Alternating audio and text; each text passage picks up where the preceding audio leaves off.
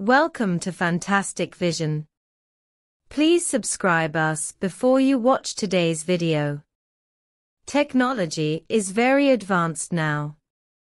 Computers, mobile phones, games, and artificial intelligence are all inseparable from GPUs, graphics processing units. Have you heard about it? The United States may completely ban the sale of GPUs to China. Let's talk about this today to see what is going on and what impact it has on people.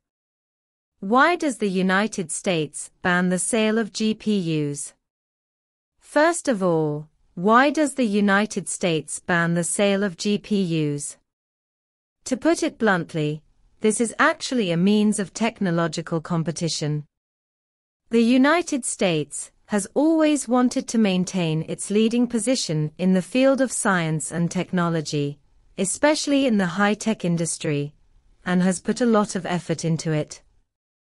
GPUs, as key components in the fields of artificial intelligence, high-performance computing, and graphics processing, are a hot commodity in the high-tech industry.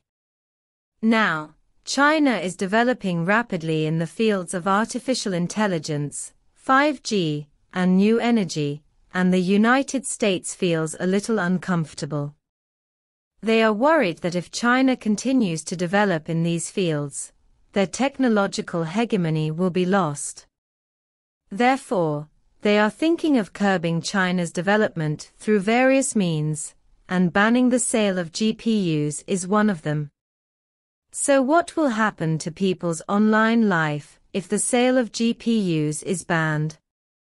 Will computers and mobile phones no longer be usable in the future? In fact, don't worry too much.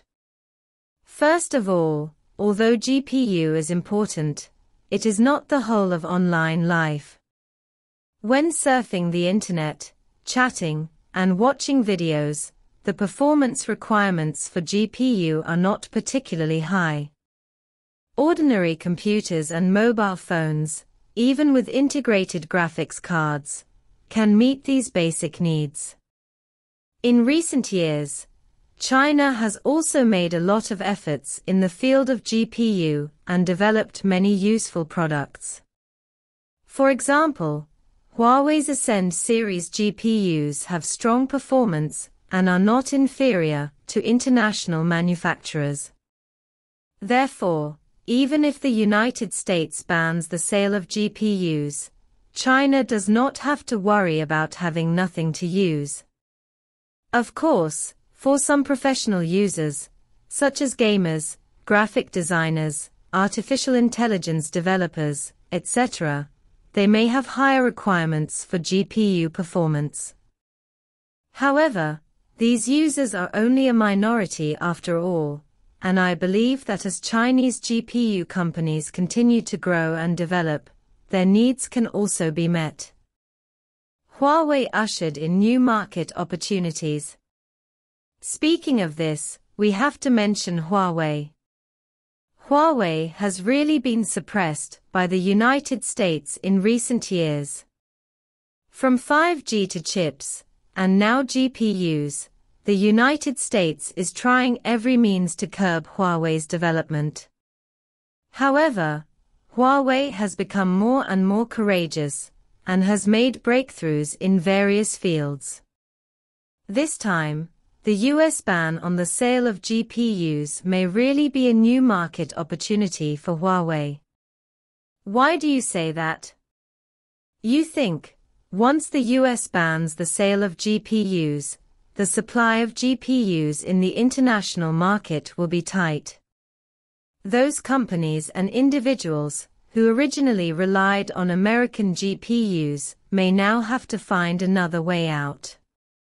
And Huawei happens to have its own GPU products, and the performance is not bad. Therefore, these companies and individuals are likely to turn to Huawei. In this way, Huawei can occupy a larger share in the international market. Of course, if Huawei wants to gain a foothold in the international market, it has to rely on its own strength. They have to continue to develop new products, improve product quality, and optimize user experience. Only in this way can they win the trust and support of more users. What impact does this have on people? At this point, some friends may ask, what impact does this have on people? In fact, for people, the impact of this matter may not be that great.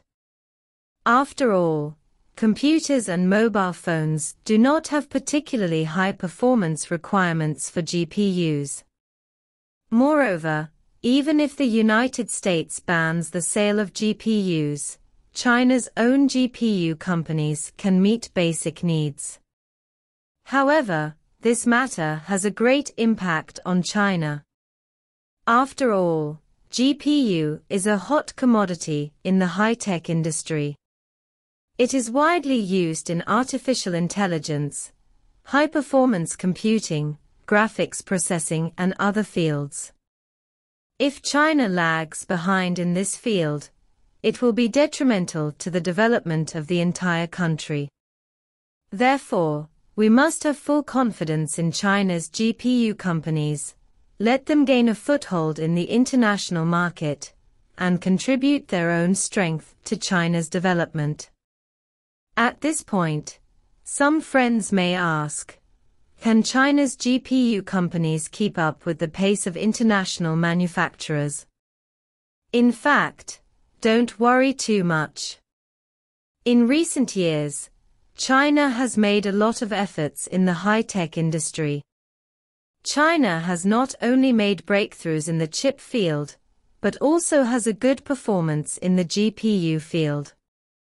Just like Huawei, their Ascend series GPUs are powerful and not inferior to international manufacturers.